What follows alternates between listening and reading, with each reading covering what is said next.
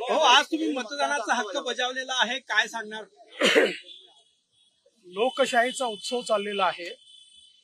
या उत्सवामध्ये मतदान हा केवळ आपला हक्क नाही आहे ते आपलं कर्तव्य देखील आहे. तो आपला अधिकार देखील आहे. आणि म्हणून माझ्या कुटुंबासकट मी आज मतदान केलेलं आहे. आणि महाराष्ट्रातील तमाम बंधू भगिनींना आमच्या लाडक्या बहिणींना लाडक्या भावांना सगळ्यांना माझी विनंती आहे सर्वांनी मतदान करा. लोकशाहीमध्ये आपण सरकारकडनं अपेक्षा ठेवतो. त्या अपेक्षा ठेवत असताना जो मतदान करतो त्याला जास्त अपेक्षा ठेवण्याचा अधिकार आहे. त्यामुळे आपल्या सरकारकडनं आपल्या अपेक्षा पूर्ण करण्याकरता सर्वांनी भरभरून मतदान करावं अशी माझी सगळ्यांना विनंती मतदारांमध्ये एक वेगळा उत्साह पाहायला मिळतो. पुढे जसं बोललं तर टक्का वाढेल. कशा प्रकारे बघता तुम्ही? मला निश्चितपणे वाटतं याचं कारण एकतर लोकसभेमध्ये याद्यांमध्ये मोठ्या प्रमाणात घोळ होता. काही प्रमाणात तो कमी झालेला आहे. दुसरं लोकसभेच्या वेळी वोटिंगची सिस्टीम ही अत्यंत स्लो होती. ज्याच्या तक्रारीनंतर आम्ही केल्या. त्यामुळे आता सिस्टीममध्ये देखील इम्प्रुव्हमेंट करण्यात आलेली आहे. आणि सगळ्यात महत्वाचं लोकसभेसारखं रण रणरणत ऊन हे आता आज नाही आहे त्यामुळे मला असं वाटतं की निश्चितपणे टक्का वाढ लाडक्या बहिणी पण जास्त संख्येने लाडक्या बहिणी पण जास्त संख्येने निघाल्यामुळे वाढू शकतो मला असं वाटतं की महाराष्ट्रात आपण नेहमी पाहतो इतर राज्यांपेक्षा महाराष्ट्रामध्ये महिलांचा टक्का हा पाच ते सहा टक्क्याने कमी असतो. पुरुषांपेक्षा.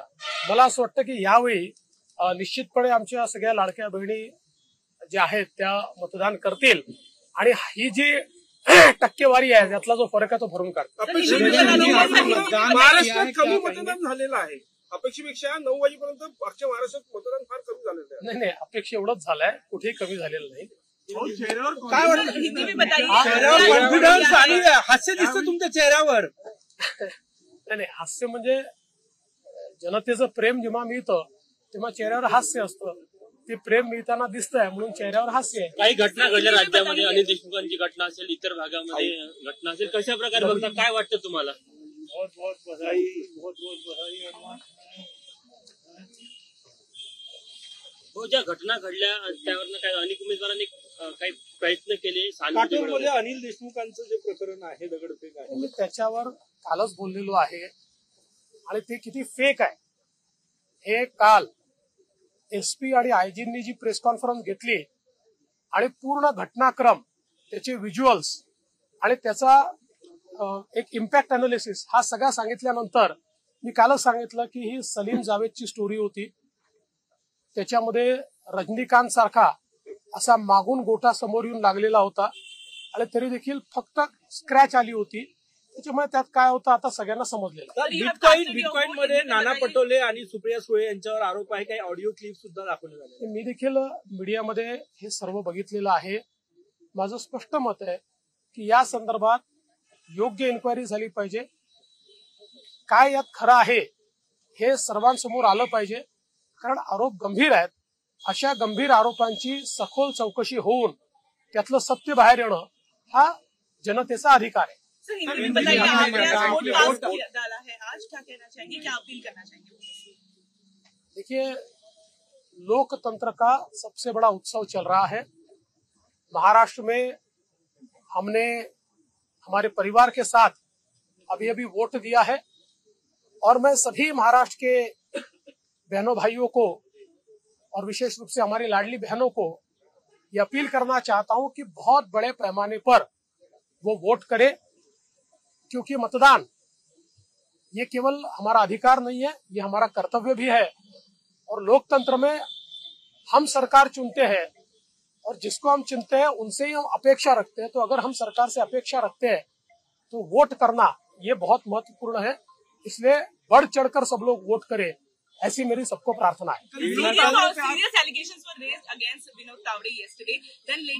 Timing has been very interesting. Supriya Sule and Nana Patole, their audios were circulated by BJP itself. Top BJP spokesperson has also taken the press conference. How do you look at the timing as well as the allegations raised by BJP? जहाँ तक विनोद तावड़े जी का सवाल है मैंने कल भी स्पष्ट कर दिया न उन्होंने कोई पैसा बांटा न उनके पास कोई पैसा मिला जानबूझकर एक बवाल खड़ा करने का प्रयास किया गया एक इकोसिस्टम को यूज़ किया गया जहाँ तक अ, सुप्रिया सुळे जी पर और नाना पटोले जी पर जो आरोप लगे हैं, जिस प्रकार से एक पूर्व आईपीएस अधिकारी ने कुछ आरोप लगाए हैं, कुछ क्लिप्स उन्होंने जारी की है, मुझे ऐसा लगता है कि ये बहुत गंभीर इस प्रकार का प्रकरण है और मैं आज इतना ही कहूँगा इस प्रकरण की सिरे से जाँच होनी चाहिए, क्योंकि इस प्रकार के एलिगेशन लगने के बाद वास्तविकता क्या है, ये दुनिया के सामने आना बहुत ज़रूरी है। एलिगेशन बहुत सीरियस है।